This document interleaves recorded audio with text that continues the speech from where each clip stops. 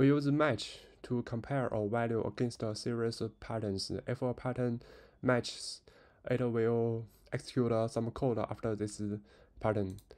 First, let's create a variable number, uh, give it a value 1. And uh, to create a match, start with keyword uh, match. And uh, with value, uh, we want to check uh, like this number variable.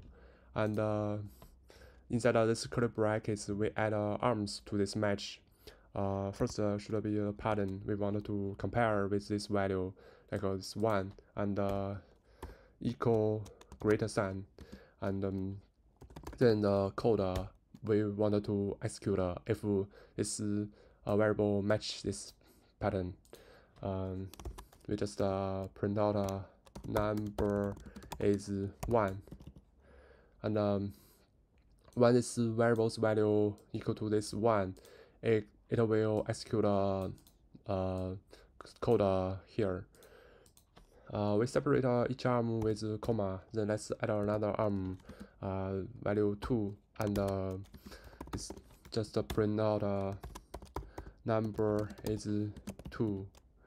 Uh, if this number's value not to match any uh, pattern uh, in each of uh, this arm, we can add a, arm begin with underscore and um, print out a number is invalid.